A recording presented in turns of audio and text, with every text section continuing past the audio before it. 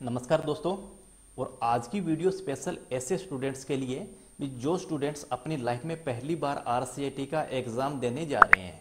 तो उनके माइंड में काफ़ी सारे क्वेश्चन भी रहते हैं कि आर एग्ज़ाम में किस टाइप के क्वेश्चन पूछे जाते हैं और आर एग्ज़ाम में हमें ओम मार सीट किस तरीके से भरनी होती है।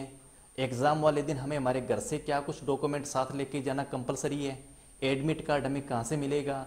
या एग्ज़ाम सेंटर पर हमें क्या कुछ दिया जाएगा?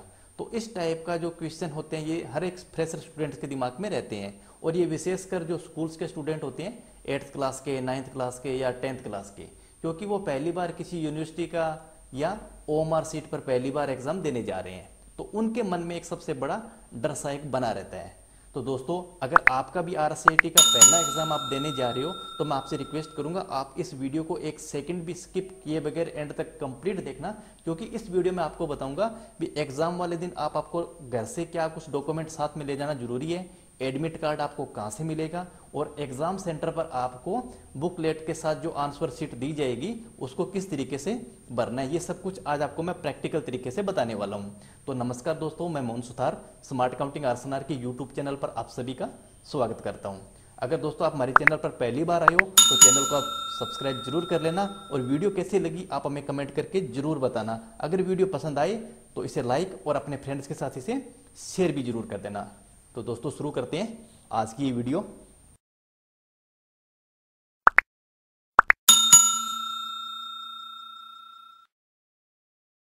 तो दोस्तों, सबसे पहले आपको अपना परमिशन लेटर लेना होगा, जिसे कि हम प्रवेश पत्र भी बोल देते हैं एडमिट कार्ड भी बोल देते हैं।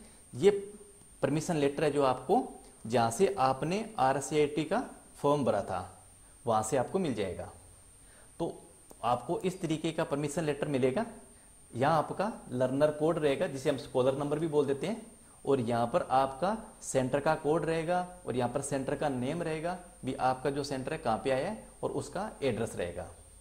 और उसके बाद में ये सारी आपकी डिटेल रहेगी यहाँ पर, आपका रोल नंबर भी रहेगा नेम ऑफ़ कैंडिडेट यानी कि स्टूडेंट का नाम रहेगा नेम ऑफ़ फादर्स नेम और यहाँ पर आपकी डेट ऑफ़ बर्थ तो ये आपको, आपके कंप्यूटर सेंटर से या जहाँ पर भी आपने अपना फॉर्म सबमिट किया था आरसीटी का, वहाँ से आपको मिल जाएगा।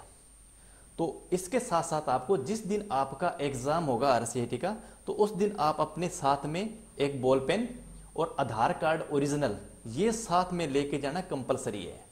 क्योंकि ये आर की गाइड में ये सब कुछ लिखा हुआ है भी, अगर आपके पास ओरिजिनल आईडी कार्ड है विद फ़ोटो और आप नाम और फादर्स नेम के साथ में तो ही आपको एग्ज़ाम सेंटर में प्रवेश करने दिया जाएगा, अदरवाइज़ आप एग्ज़ाम नहीं दे सकते। तो इसलिए जब भी आप एग्ज़ाम देने जाओ तो आप अपनी ओरिजिनल आईडी साथ लेके जाना, ना भूलना। तो ये तो था परमिशन लेटर अब ये आपको जब भी आप सेंटर में जाओगे तो आपको वहाँ पे एग्ज़ाम हॉल में इस टेप इस टाइप का क्वेश्चन बुकलेट मिलेगा। अब जैसे यहाँ पर आप देख सकते हो, अक्टूबर 2019 है तो यहाँ पर आपको दिसंबर 2020 लिखा हुआ मिलेगा। और ये इसकी बुकलेट की सीरीज़ है। ये चार सीरीज़ होती है ए बी सी डी अब आपको ए भी मिल सकती है बी भी मिल सकती है सी भी मिल सकती है और डी भी मिल सकती है, ये कुछ भी हो सकता है। और यहाँ पर आपके क्वेश्चन बुकलेट का नंबर लिखा होता है। और उसके बाद में यहाँ पर आपको ये आपका रोल नंबर जो कि आपको परमिशन लेटर में मिल जाएगा।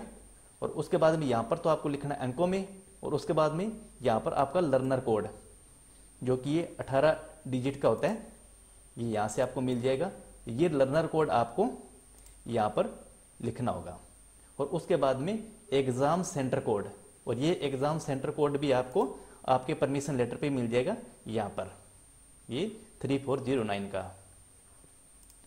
तो ये तो थी क्वेश्चन बुकलेट जो कि आपको एग्ज़ाम सेंटर पर दी जाएगी। और यहाँ पर इसकी सील रहती है।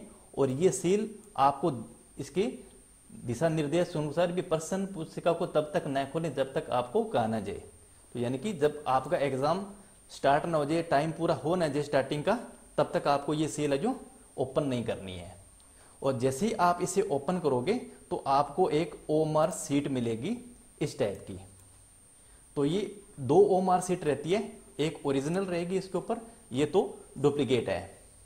तो सबसे पहले आपको करना क्या होगा, यहाँ पर अपना रोल नंबर तो रोल नंबर ऊपर तो आप बिल्कुल अंकों में लिखोगे और ये भी आपको पता है, आपको अपने प्रवेश पत्र पर मिल जाएगा परमिशन लेटर पर भी, जैसे two zero three seven eight zero तो इसके साथ साथ जो कंपलसरी है और विशेषकर जो ध्यान रखने वाली जो बात है, वो यही है कि आपने जो यहाँ पर जो कॉलम ये जो दिए हुए हैं, इन कॉलम को सही तरीके से फिलअप करना होता है। यानी कि बॉल पेन से। पेंसिल का यूज़ बिल्कुल भी नहीं करना है। हमें ये बॉल पेन से इसको बिल्कुल सही तरीके से फिलअप करना है। ये किस तरीके से करना है, ये भी आपको मैं बताऊँगा। आप देख सकते हो, ये देखो। जैसे ये इसका रोल नंबर है तो हमें ये बिल्कुल इसको, जो हमें दिख रहा है, ये बिल्कुल वन टू थ्री फोर अब जैसे इसका टू है तो हमें इस तरीके से नौ, ज़ीरो से लेके नौ तक यहाँ पर लाइनें मिलेगी। अब आपका जैसे two zero three seven eight zero है तो आपको पहले दो पे इसको राउंड यानी कि इसको ब्लैक करना पड़ेगा। उसके बाद ज़ीरो है तो ऊपरी ऊपर आपको ज़ीरो मिलेगा। इसके साथ आपको ज़ीरो करना है। उसके बाद तीन है तो आपको यहाँ पे जो तीन नंबर लिखा हुआ है, इसको आप ब्लैंक करोगे पेन से। उसके बाद सेवन है तो सेवन को भी आप यहाँ से ब्लैंक करोगे और इस तरीके से एट को और ज़ीरो को भी। तो यानी कि हम इसको रोल नंबर इस तरीके से हमें बॉल पेन से डॉट करना है, यानी कि इसको ब्लैक करना है। और उसके बाद इसका परीक्षा केंद्र कोड ये भी आपको अपने प्रवेश पत्र में मिल जाएगा थ्री फोर ज़ीरो नाइन तो सेम इसी तरीके से इसको भी फिलअप करना है। जैसे तीन है तो हम तीन को यहाँ पे पेन से ब्लैक करेंगे, उसके बाद फोर को, फिर ज़ीरो को, और फिर इस तरीके से इसको नाइन को। और उसके बाद में आपकी बुकलेट की सीरीज़ जो हमारी ये बुकलेट थी, इसकी सीरीज़ है ए तो आप यहाँ पर आपको चार ऑप्शन मिलेंगे ए बी सी डी अगर आपका ए है तो आप ए को करोगे बी है तो बी को करोगे सी है तो सी को करोगे डी है तो डी को करोगे। ये आपको केयरफुली करना है ए को आप दो बार नहीं कर सकते। जैसे आपको सीरीज़ तो आपकी ए है, लेकिन आपने गलती से पहले बी पे डॉट कर दिया, लेकिन बाद में पता चला ए है तो आप इसको कटिंग करोगे और बाद में ए करोगे तो ये गलत हो जाएगा। और उसके बाद में question booklet number. Question booklet का नंबर, वैसे तो आपको यहीं से पता चल जाएगा भी आपकी बुकलेट का नंबर क्या है। आप इसको देख के भी यहाँ पे फिलअप कर सकते हो। नहीं तो आप, जो आपके पास ओमआर सीट थी, ये वाली बुकलेट, इसके इस देख के आप, दो सौ छह ज़ीरो तैतीस को भी देख के वहाँ पर लिख सकते हो इस ओमर सीट में। तो सेम इस तरीके, इसी को भी हम डॉट डॉट से देख के इस सीरीज़ को, दो है तो दो को, ज़ीरो तो ज़ीरो, छह को तो छह, ज़ीरो, फिर डबल थ्री को। एक ही लाइन में दो हमें गोले को ब्लैंक नहीं करना, ये हमें ध्यान रखना है। तो ये तो था रोल नंबर, उसके बाद में परीक्षा केंद्र का कोड, यानी कि एग्ज़ाम सेंटर का कोड, उसके बाद आपकी बुकलेट की सीरीज़ और उसके बाद में बुकलेट की संख्या। तो यहाँ तक तो आपकी जो आपके एग्ज़ाम में जिस टीचर्स की ड्यूटी होगी, वो भी आपको बता देगा। तो उसके बाद आपको जो क्वेश्चन रहेंगे, वो आपको अपने ध्यान से करना है, बिल्कुल केयरफुली सेम इसी तरीके से हमें जो आंसर रहेंगे, ये टोटल 35 नंबर का पेपर होता है और 35 नंबर के आगे भी हमें ये डॉट डॉट करना होता है, जिसका सही आंसर है। तो मैंने ये यहाँ पे चार तरीके आपको बताए हैं भी किस तरीके का होता है वो बिल्कुल सही होता है। तो आप देख सकते हो भी यहाँ पे एक लाइन में एक क्वेश्चन का जो हमें एक बार ही आंसर देना है। तो अगर आपने, जैसे ये आपके पास पहला क्वेश्चन है, मैं आपको क्वेश्चन दिखा देता हूँ। तो ये, वो बुकलेट में आपको ये सारे क्वेश्चन मिलेंगे। तो एक साइड में आपको इंग्लिश में देखने को मिलेगा और उसके सामने आपको हिंदी में देखने को मिलेगा। अब जैसा कि क्वेश्चन नंबर आप एक देख रहे हो कि आप कंप्यूटर से सोशल मीडिया का उपयोग से कर सकते हैं। तो अगर इसका सही आंसर आपको क्या लगता है? ए सही है बी सही है सी सही है या डी सही है? अगर आपको लगता है भी इसमें जो सही आंसर इसका सी है। तो आपको, आपने जो आंसर सीट है, इसमें आपको ये ए बी सी डी आपको ऑप्शन मिलेंगे तो आपको सी वाले कॉलम को बिल्कुल डार्क करना है। तो आपको बिल्कुल इसी तरीके से करना है भी आपने जो डायरेक्ट किया है वो इस घेरे के अंदर अंदर ही रहे। इससे बाहर बिल्कुल भी नहीं जाना चाहिए।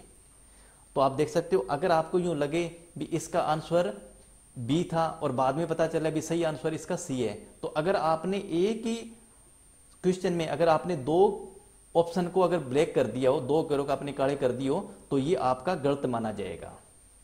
अगर आपने बिल्कुल सही भरा है, लेकिन इसको आपने आधा अधूरा भर दिया यानी कि पूरा जो डॉट है, ये पूरा बीच में से नहीं भरेगा और इसको आपने आधा अधूरा डॉट कर दिया तो ये भी गलत माना जाएगा। और अगर आपने इस पर टिक का निशान लगा दिया, यानी कि आपने इसको ब्लैक करने के बजाय इसको गोले को आपने ब्लैक करने के बजाय इस पर सीधा टिक का निशान लगाया तो भी ये गलत माना जाएगा। तो आपको ये विशेष कर ध्यान रखना है। आंसर आपको बिल्कुल सोच समझ के देना है। आपको एक बारी में, एक क्वेश्चन का, एक कॉलम को ही आपको ब्लैक करना है। आप दो नहीं कर सकते, आधा अधूरा नहीं छोड़ सकते और इस पर आप टिक मार्क नहीं कर सकते। तो ये विशेषकर आपको ध्यान रखना है। तो इस तरीके से आपके सामने ये टोटल आंसर की है और इस आंसर की में ये टोटल 35 क्वेश्चन है और इन्हीं 35 क्वेश्चन को आपको सही तरीके से फिलअप करना होगा। तो दोस्तों, अगर आपने 35 के 35 क्वेश्चन सही कर दिए, लेकिन अगर आपने इसमें से कहीं गलती कर दी रोल नंबर लिखने में परीक्षा के अंदर कोड लिखने में या सीरीज़ लिखने में यहाँ पर इसकी जो बुकलेट संख्या इसमें तो आप भी फेल हो जाओगे। आपका जो स्कैनर है वो रिजेक्ट कर देगा इसको। और उसके बाद में आपको यहाँ पे स्टूडेंट्स, विद्यार्थी का जो विवरण है, इसमें आपका रोल नंबर, आप रोल नंबर यहाँ से आपको यहीं से भी देख सके, भर सकते हो। तो ये रोल नंबर आपको यहाँ पर फिलअप करना रहेगा और उसके बाद में आपका जो लर्नर कोड या स्कॉलर कोड है, वो भी आपको यहाँ पर भरना पड़ेगा और उसके बाद में आपका नाम आपका नाम अपने प्रवेश पत्र भी, पर भी देख सकते हो। पिता का नाम भी आप प्रवेश पत्र से देख के भरना और उसके बाद में डेट ऑफ़ बर्थ जो डेट ऑफ़ बर्थ आपके प्रवेश पत्र पे यानी कि एडमिट कार्ड पे जो लिखी हुई है, उसको देख के आपको फिलअप करनी है और यहाँ पर एड्रेस जो आपके पास आईडी है, आधार कार्ड वगैरह, उसमें जो एड्रेस लिखा होता है, वही एड्रेस आपको यहाँ पर लिखना रहेगा। और उसके बाद में डेट ऑफ़ एग्ज़ाम यानी कि परीक्षा तिथि। तो यहाँ पर आप छः बारह दो हज़ार बीस, यानी कि या जिस भी डेट को आप एग्ज़ाम दे रहे हो, वो डेट आपकी यहाँ पर आ जाएगी। और उसके बाद में आपके जो सिग्नेचर रहेगी पर्यवेक्षक के हस्ताक्षर, यानी कि जिसकी ड्यूटी आपके एग्ज़ाम में होल के रहेगी, और यहाँ पे विद्यार्थी के हस्ताक्षर। जो जो स्टूडेंट्स हैं, उसको खुद को ये साइन करने पड़ेंगे। और उसके बाद में जो इसकी ओरिजिनल जो ओमर सीट है वो आपसे प्रवेश ले लेगा। एग्ज़ाम होने के टाइम होने के बाद में और ये इसकी जो डुप्लीकेट कॉपी है, ये आप अपने साथ लेकर आ सकते हो। तो दोस्तों, आज की वीडियो कैसी लगी, आप हमें कमेंट करके ज़रूर बताना। फिर भी अगर आपके किसी भी टाइप का क्वेश्चन हो तो आप हमें कमेंट भी कर सकते हो। इसकी हम रिप्लाई देने की पूरी पूरी कोशिश करेंगे। वीडियो अगर पसंद आई तो आप अपने फ्रेंड्स के साथ इसे शेयर भी ज़रूर कर देना। और अभी तक आपने इस चैनल को सब्सक्राइब नहीं किया है तो वो भी ज़रूर कर लेना और साथ में बेल आइकन का बटन प्रेस करके ऑल नोटिफिकेशन पर भी ज़रूर क्लिक कर लेना। तो दोस्तों, मिलते हैं नेक्स्ट वीडियो में एक नए टॉपिक के साथ।